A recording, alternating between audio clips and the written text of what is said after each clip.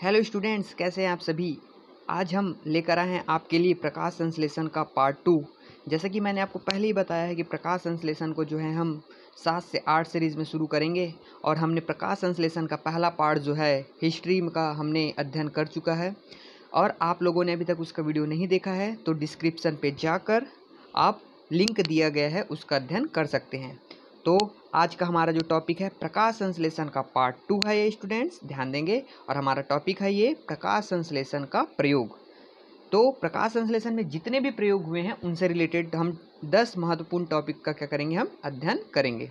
तो चलिए देख, शुरू करते हैं हम आज का यह वीडियो चलिए देखते हैं हमारा पहला क्वेश्चन क्या कह रहा है कि प्रकाश संश्लेषण में ऑक्सीजन के निष्कासन के प्रदर्शन हेतु प्रयोगशाला में कौन सा पौधा प्रयोग में लाया जाता है? तो स्टूडेंट, आपको बताना है कि भाई प्रकाश संश्लेषण की जो क्रिया होती है, उसको समझाने के लिए ऑक्सीजन गैस निकलती है। तो उसमें कौन सा पौधा यूज़ किया जाता है?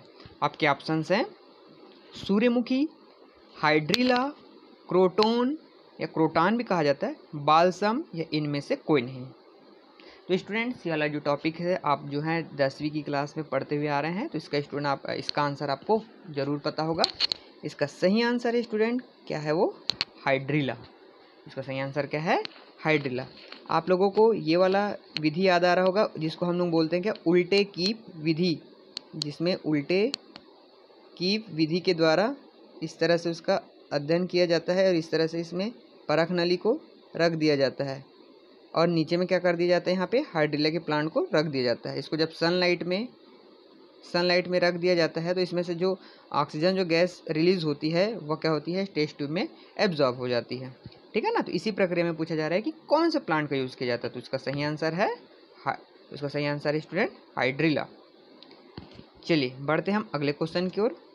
हमारा अगला क्वेश्चन कह रहा है, एक मिनट हमारा अगला क्वेश्चन कह रहा है कि प्रकाश संश्लेषण के अध्ययन में लोकप्रिय आइसोटोप्स का प्रयोग किया जाता है। जब प्रकाश संश्लेषण का क्रिया किया जाता है तो जो प्लांट जब होते हैं, उसमें आइसोटोप्स दिए जाते हैं। तो आपको बताना है कि इनमें से कौन से आइसोटोप्स हैं जो लोकप्रिय हैं? जैसे आपके ऑप्शंस है C fourteen and C fourteen and O eighteen मतलब कि कार्बन के फोर्टीन आइसोटोप और ऑक्सीजन के एटीन आइसोटोप को दिए जाते हैं। ऑप्शन ए है, ऑप्शन बी है C eleven C thirty two C sixteen C fifteen P thirty two C fifteen या इनमें से कोई नहीं। तो स्टूडेंट ये थोड़ा सा लॉजिकल क्वेश्चन है, लेकिन आप इसको गौर से देखेंगे तो इसका आंसर आपको ज़रूर पता होगा। इसका सही आंसर है student option number one option number one C fourteen and O eighteen का उपयोग किया जाता है। होता क्या है कि जो सी जो फोर्टीन होता है आइसोटोप का उपयोग क्या होता है? कार्बन का मार्ग जानने के लिए होता है कि किसी भी प्लांट में जो होता है, उसमें कार्बन का जो वे होता है, वो किस वे में ग्रो करेगा, किस वे में मूवमेंट करेगा, उसका हमको अध्ययन करना है तो क्या होता है सी फोर्टीन का यूज़ किया जाता है। फिर है आपका ऑक्सीजन एटीन ऑक्सीजन एटीन का जो उपयोग जो होता है, ये मतलब इसका उपयोग यह प्रमाणित करने के लिए या फिर यह सिद्ध करने के लिए होता है कि जो प्रकाश संश्लेषण में, प्रकाश संश्लेषण में जो ऑक्सीजन गैस रिलीज़ होती है, उसका स्रोत कार्बन डाइऑक्साइड सॉरी उसका स्रोत जल है, ना कि कार्बन डाइऑक्साइड। ये ज्ञात करने के लिए ऑक्सीजन 18 का यूज़ किया जाता है। तो स्टूडेंट यहाँ पे देखेंगे, अब दो टॉपिक्स बन गए। क्वेश्चन ये भी आ सकता है कि सी फोर्टीन आइसोटोप का यूज़ किसके लिए किया जाता है? तो इसका यूज़ जो होता होगा स्टूडेंट, किसके लिए किया जाएगा? आपके किसके लिए यूज़ होगा उसका? कार्बन के वे को जानने के लिए। दूसरा क्वेश्चन क्या बनेगा? ऑक्सीजन 18 का यूज़ जो है, किसमें होता है? तो उसमें हम याद रखेंगे इसमें कि जो ऑक्सीजन का जो स्रोत है, प्रकाश संश्लेषण में, वह जल है। किससे प्राप्त होता है ऑक्सीजन? जल से, ना कि कार्बन डाइऑक्साइड से। ठीक? चलिए, बढ़ते हैं हम अगले टॉपिक की ओर। सॉरी अगले क्वेश्चन की ओर। हमारा अगला क्वेश्चन क्या कह रहा है? हमारा अगला क्वेश्चन कह रहा है कि इमर्सन प्रभाव निम्न में से किसकी उपस्थिति सिद्ध करता है?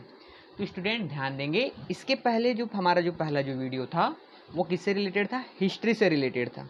तो उसमें जो हमारा जो चौथा जो क्वेश्चन क्या कहा रहा था, जो एसीएफ में आया था 2016 में, कि ऑक्सीजन जो होता है वो किससे प्राप्त होता है, उसको कौन साइंटिस्ट ने बताया था?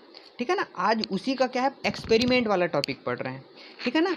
अब बात कर रहे हैं हमने जो पुराने जो वीडियो में हमने ये भी बात किया था कि कौन से ऐसे दो दो पिगमेंट सिस्टम होते हैं जिसका अध्ययन किसने किया था? तो उसका साइंटिस्ट का क्या नाम था? इमर्सन ठीक है ना? याद आ रहा है आपको? आ, याद आ रहा होगा आपको? इमर्सन नामक साइंटिस्ट ने किया था। तो, तो देखते हैं अब आज का क्वेश्चन क्या कह रहे हैं? इमर्सन प्रभाव निम्न में से किसकी उपस्थिति सिद्ध करता है? तो मतलब आपको तो ये तो पता चल गया यहाँ पे क्या होंगे पिगमेंट सिस्टम वन होंगे और क्या होंगे यहाँ पे पिगमेंट सिस्टम टू होंगे। ये तो आपको क्लियर हो गया होगा। चलिए देखते हैं ऑप्शंस क्या कह रहे हैं। पहला ऑप्शन कह रहा है, दो स्पष्ट प्रकाश रासायनिक क्रियाएँ अथवा प्रक्रियाएँ के लिए। दूसरा, प्रकाश संश्लेषण में प्रकाश तथा अंधकार क्रिया के लिए। फोटोफॉस्फोराइलेशन में प्रकाशी श्वसन में या इनमें से कोई नहीं। तो जैसे कि स्टूडेंट मैंने आपको बताया कि pigment system one and two होते हैं। तो थोड़ा सा आपको हिंट ध्यान देना है, पिछला जो वीडियो में मैंने आपको इसको क्लियर किया था। तो इसका सही आंसर क्या होगा? ऑप्शन नंबर ए दो स्पष्ट प्रकाश रासायनिक क्रियाएँ अथवा प्रक्रियाएँ। क्योंकि पिगमेंट सिस्टम वन जो होता है, वह क्या होता है? आपका यहाँ पे पिगमेंट सिस्टम वन या फिर बोल सकते हो, यहाँ पे क्या होगा? सेवन हंड्रेड नैनोमीटर और ये होता है सिक्स एटी नैनोमीटर के द्वारा होता है तो क्या होता है? वो प्रकाश रासायनिक क्रिया होती है। ठीक है? चलिए, बढ़ते हैं हम अगले क्वेश्चन की ओर। हमारा अगला क्वेश्चन कह रहा है साइंटिस्ट का नाम है वार बर्ग ने अपना, अपने प्रभाव का अध्ययन किया था। साइंटिस्ट हैं, उन्होंने अपना एक्सपेरिमेंट किया रहा होगा। साइंटिस्ट कौन है? वारबर्ग। आपको बताना है कि किसमें किया था। आपके ऑप्शंस हैं, क्ले, माइडोमोनास, क्लोरेला, वालवाक्स पर उपरोक्त सभी या इनमें से कोई नहीं। तो भाई, वारबर्ग ने अपना जो एक्सपेरिमेंट किया था, वह था आपका क्या? क्लोरेला। क्या था? क्लोरेला। वारबर्ग ने क्या किया था? उस सन की बात है, नाइनटीन नाइनटीन में क्या किया था? प्रकाश के उपयोग में जो ग्रीन एल्गी है, जो क्लोरेला जो होता है, वह क्या होता है? Green algae. ग्रीन एल्गी का मतलब क्या होता है? हरा सवाल। हरा सवाल क्यों कहते हैं? इसमें क्लोरोफिल क्या होता है? प्रेजेंट होता है। इसलिए इसको क्लोरेला ए क्लोरोफिल एक ग्रीन एल्गी कहा जाता है। तो इसलिए आप देखोगे यहाँ पे क्लोरेला जो होता है, वारबर्ग ने अपना प्रयोग किया था। ठीक है ना? तो ध्यान देंगे स्टूडेंट फोटोसिंथेसिस की जो क्रिया होगी, उसमें आपको ये ध्यान रखना है कि वहाँ अगर क्लोरोफिल प्रेजेंट होगा तो उससे रिलेटेड अगर आपको आंसर मिलेगा तो वही उसका क्या होगा? आपका आंसर सही होगा। चलिए। बढ़ते हम अगले क्वेश्चन की ओर। हमारा पांचवा क्वेश्चन क्या कह रहा है कि किसके प्रयोग द्वारा प्रकाश संश्लेषण में कार्बन पथ देखा गया? कार्बन पथ देखा गया है। कौन सी क्रिया में? प्रकाश संश्लेषण में। तो आपके ऑप्शन है centrifugation radio isotopes fractionation chromatography या उपरोक्त सभी। तो इसका सही आंसर है स्टूडेंट इसका सही आंसर है रेडियो आइसोटोप्स। आपको याद भी होगा, इसके पहले मैंने एक क्वेश्चन किया था, जब हमने इसका हिस्ट्री पढ़ रहे थे, नाम था उसके वैज्ञानिक का, रूबेन एंड कामेन। तो देखिए स्टूडेंट पहले हमने क्या पढ़ा? पूरे साइंटिस्ट लोगों के नाम पढ़े, आज हम उस सब के क्या पढ़ रहे हैं? एक्सपेरिमेंट पढ़ रहे हैं। तो इस तरह से क्या होता जाएगा स्टूडेंट? सभी का क्या होता जाएगा? लिंक जुड़ते जाएगा, जिससे कि क्या होगा? आपको सभी क्वेश्चन जो है, आपके माइंड में सेटअप हो जाएँगे। तो उन्होंने क्या किया था? किन्होंने रूबेन एवं कामेन ने प्रकाश संश्लेषण में कार्बन का क्या करने के लिए, कार्बन का वे जानने, मार्ग जानने के लिए सी फोर्टीन अभी थोड़ी देर मैंने आपको पहले भी बताया था C fourteen radio active isotope का उपयोग जो है किसमें किया था और क्लोरेला में किया था। ठीक है? चलिए, बढ़ते हम अगले क्वेश्चन की ओर। छठवा नंबर का क्वेश्चन कह रहा है फोटोसिंथेसिस संबंधी शोध कार्य के लिए अधिकांश प्रयुक्त पदार्थ है। जब फोटोसिंथेसिस की जो प्रक्रिया होती है तो उसमें कौन सा पदार्थ का यूज़ किया जाता है? आपके ऑप्शन है क्लेमाइडोमोनास पालक की पत्तियाँ क्लोरेला हाइड्रीला और इनमें से कोई नहीं। तो स्टूडेंट अभी तक आप लोगों ने पढ़ा है तो आपको तो नॉलेज हो गया होगा। थोड़ा सा हिंट भी मिल गया होगा कि इसका आंसर क्या हो सकता है। इसका सही आंसर होगा क्या स्टूडेंट क्लोरेला चलिए, बात करते हैं हम सातवें नंबर के क्वेश्चन की ओर। मोल का प्रयोग प्रदर्शित करता है। मतलब प्रदर्शित करते कहने मतलब मोल का जो शब्द का जो प्रयोग हुआ था, इसने किसने किया था? एफ़. एफ़. ब्लैकमैन ने, रॉबर्ट इमर्सन व अर्नोल्ड ने, कैलविन ने, Calvin, M, sorry, Melvin, Calvin ने, रॉबर्ट हिल ने, और अब क्या ऑप्शन है इसमें क्या? इनमें से कोई नहीं। तो इसके जो सही आंसर हैं इसका जो सही आंसर है, वो होगा स्टूडेंट क्या? मेलविन एंड केल्विन नामक जो साइंटिस्ट है, इन्होंने ही क्या किया था? मोल शब्द का यूज़ किया था। ठीक है?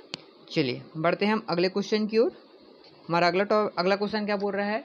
कि केल्विन तथा साथियों द्वारा कार्य के लिए प्रयुक्त एलगी है। मतलब एलगी, केल्विन एम साथियों ने एक प्रयोग किया था भाई। तो एल्गी कौन सा है? ऑप्शन है आपके क्लोरेला, वॉलवॉक्स, क्लेमाइडोमोनास, उपरोक्त सभी या इनमें से कोई नहीं। तो स्टूडेंट, अब ये तो आपका आंसर बिल्कुल पता चल गया होगा, क्योंकि इस तरह से जो क्वेश्चन है, जो तीन टॉप से क्वेश्चन थे, आंसर सभी का एक था स्टूडेंट। ध्यान दे, आपने ध्यान दिया होगा, लेकिन क्वेश्चन पूछने के तरीके सब क्या थे? अलग थे। तो इसका सही आंसर क्या होगा? क्लोरेला। क्योंकि पहले बताया था मैंने कि जो कैलविन नामक जो साइंटिस्ट थे क्लोरेला के सॉरी क्लोरेला के 14 कार्बन के 14 आइसोटोप क्या थे कि कार्बन के 14 आइसोटोप मतलब समस्थानी का उपयोग करके प्रकाश संश्लेषण में क्या किया था? कार्बन का मार्ग का पता किया था। ठीक है ना? तो इसका सही आंसर क्या होगा? क्लोरेला चलिए, बढ़ते हमारे नौवें क्वेश्चन की ओर। हमारा नौवा क्वेश्चन क्या कह रहा है कि हरे पौधों पर कार्य करने के लिए नोबेल पुरस्कार प्राप्त हुआ है। मतलब ऐसे कौन से साइंटिस्ट हैं जिन्हें हरे पौधों पर कार्य करने के लिए नोबेल पुरस्कार प्राप्त हुए हैं? आपके ऑप्शंस हैं कैलविन और बेस्टन ने कैलविन और बोरलाग ने बीडल और टाटम ने फ्लेमिंग और वॉक्समैन ने, या फिर इनमें से कोई नहीं? तो स्टूडेंट आपको इसका आंसर पता होना चाहिए और इसका सही आंसर स्टूडेंट कैलविन और बोर लाग ने कैलविन और बोर नामक जो साइंटिस्ट थे, उन्होंने ही क्या किया था? अध्ययन किया था किस पर? हरे पौधों पर। जिसलिए उसके कारण उनको क्या प्राप्त हुआ था? नोबेल पुरस्कार प्राप्त हुआ था। चलिए, आज का हमारा दसवा जो क्वेश्चन है, और अंतिम क्वेश्चन है, क्रेंज एनाटॉमी किसमें उपस्थित होता है?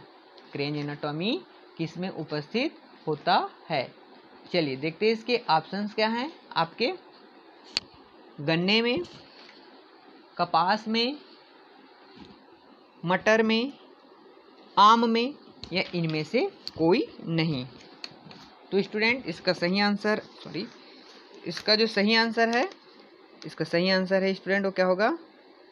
इसका सही आंसर है गन्ने में। क्या होता है? गन्ने में। ठीक है ना? तो चलिए, पहले तो आपको ये समझना है क्रेंज एनाटॉमी क्या होता है। क्रेंज एनाटॉमी क्या होता है? जो क्रेंज एनाटॉमी जो होता है, यह क्या होता है? किसी भी, किसका एक इंपॉर्टेंट क्वेश्चन बनेगा कि क्रेंज एनाटॉमी जो होता है सी फोर प्लांट का क्या होता है? इंपॉर्टेंट कैरेक्टर होता है। ये कहाँ पे पाया जाता है? ये भी ध्यान देंगे। तो ये जो होता है, यह लीफ में पाया जाता है। क्या होता है? लीफ में पाया जाता है। ऐसे मतलब सी फोर प्लांट के जो प्लांट होते हैं, उनकी जो लीफ होते हैं, उसका वेस्कुलर बंडल जो क्या होता है? उसका वेस्कुलर बंडल। अब वेस्कुलर बंडल मतलब क्या कहने का मतलब स्टूडेंट वह जायलम, फ्लोयम, इन भागों से क्या होगा? मिलकर बना होगा। ठीक है ना? किसकी बात किया मैंने? वेस्कुलर बंडल की। तो वेस्कुलर बंडल कितने भाग होंगे? जाइलम और फ्लोएम होंगे। ठीक है? अब देखते हैं सॉरी इसको एक बार फिर से एक्सप्लेन कर देता हूँ मैं। हम्म मैं क्या बता रहा था कि जो बीच में होगा, कोई भी पत्तियाँ हैं, पत्तियों में क्या स्ट्रक्चर होता है क्या? वेस्कुलर बंडल और वेस्कुलर बंडल क्या होता है बताया मैंने? इसके दो भाग होते हैं कौन कौन से? जाइलम और फ्लोएम ठीक है ना? जालम और क्या होते हैं? फ्लोएम होते हैं। अब जालम और जो फ्लोएम मतलब कि जो वेस्कुलर जो बंडल होते हैं, वह एक बंडल सीत के द्वारा क्या होते हैं? ये बंडल सीत है। बंडल सीत के द्वारा क्या होते हैं? घिरे हुए थे हैं। तो लीफ में इस तरह की जो संरचना बनती है, उन्हें ही क्या कहा जाता है? क्रेंज एनाटॉमी कहा जाता है। तो स्टूडेंट, जब हम आगे जब सी फोर प्लांट का अध्ययन करेंगे तो मैं आपको इसके बारे में विस्तृत रूप से बताऊँगा। लेकिन आपको ये ज़रूर ध्यान रखना है कि क्रेंज एनाटॉमी जो होता है, वह सी फोर प्लांट में होता है। और ये क्या होता है? लीफ वाले पार्ट्स पे पाया जाता है। लीफ वाले पार्ट्स में पाया जाता है तो किसको कहेंगे? वेस्कुलर बंडल को चारों ओर से क्या होता है? बंडल सीत के आवरण के द्वारा घिरा हुआ हुआ एक ऐसी संरचना होती है, जिसे क्या कहा जाता है? क्रेंज एनाटॉमी कहते हैं। तो किसमें पाया जाएगा स्टूडेंट गन्ने में। गन्ने में के साथ साथ क्या होता है? ये मक्का में। किसमें पाया जाएगा? मक्का में, बाजरा में, साइप्रस, एमरेंथस आदि के पौधों में भी क्या होता है? यह पाया जाता है। तो स्टूडेंट ये थे इस वीडियो के दस महत्वपूर्ण क्वेश्चन स्टूडेंट मैंने आज एक न्यू सेशन शुरू किया है। आपने हमारे पुराने वीडियो का अगर अध्ययन किया होगा अच्छे से तो आपको जो मैं अब आगे पूछने वाला हूँ क्वेश्चन उसका आंसर आपको बिल्कुल पता होगा। तो देखते हैं आज का सवाल। ये जो टॉपिक है स्टूडेंट अब से मैं आपको एक क्वेश्चन दूँगा। आपको क्वेश्चन का जो है आंसर जो है बिल्कुल जो है कमेंट्स में लिखेंगे। इससे क्या होगा स्टूडेंट आपकी जो है तैयारी होते रहेगी। इससे आपको पता चलेगा कि हमारी तैयारी कितनी हो रही है। तो ज़रूर जो है आप कमेंट बॉक्स में इसका आंसर ज़रूर देंगे। सभी स्टूडेंट्स मेरी गुजारिश रहेगी कि सभी जो है, इसका आंसर ज़रूर देवे। तो क्वेश्चन क्या कह रहा है? इनमें से कौन बड़ी आंत का भाग नहीं है? स्टूडेंट क्वेश्चन कभी कभी भी हो, ध्यान से पढ़ना चाहिए। बड़ी आंत का भाग नहीं है। तो आपको पता चल रहा होगा कि इसके बारे में मैंने न्यूट्रिशन जो पीडीएफ जो डाला था सॉरी नोट्स जो डाला था, उस वाले टॉपिक से रिलेटेड है। बड़ी आंत के कितने भाग हैं? तीन भाग होते हैं तो आपको इनमें से बताना है कि इनमें से कौन सा ऐसा भाग है जो नहीं है। आपके ऑप्शन है, सीकम, कोलन, रेक्टम, इलियम और इनमें से कोई नहीं। तो स्टूडेंट, आप जो ज़रूर जो है, इसके आंसर जो है, कमेंट्स बॉक्स में ज़रूर देंगे। तो आपको यह वीडियो अगर अच्छा लगा हो तो प्लीज़ इसे ज़्यादा से ज़्यादा लाइक करिए और इसे सब्सक्राइब करिए। सब्सक्राइब करने के बाद आपका बेल आइकॉन का बटन आएगा, उसको क्लिक करिए ताकि हम जो न्यू वीडियो डालें उसका आपको नोटिफिकेशन प्राप्त हो सके। और स्टूडेंट ध्यान देंगे, इस वीडियो को ज़्यादा से ज़्यादा शेयर करिए ताकि सभी स्टूडेंट की क्या हो सके, तैयारी हो सके। Thank you